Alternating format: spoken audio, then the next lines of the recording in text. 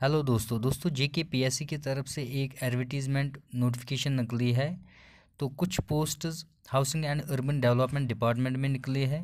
तो यहाँ पे आप कब से इन पोस्टों के लिए अप्लाई कर सकते हो तो, तो यहाँ पे आप देख सकते हो आज से ही आप इन पोस्टों के लिए अप्लाई कर सकते हो। अगर हम लास्ट डेट की बात करेंगे that is seven ten two zero twenty two तो यहाँ पे आप details of post with category wise breakup ये आप यहाँ पे देख सकते हो।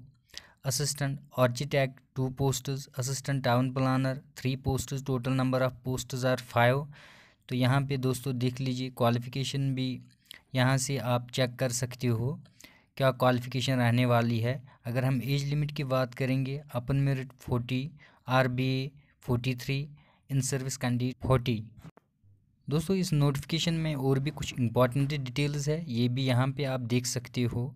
Scheme of the selection and examination pattern किस तरह होगा? तो यहाँ पे आप देख लीजिए रिटर्न एग्ज़ाम में कितने पॉइंट्स होंगे।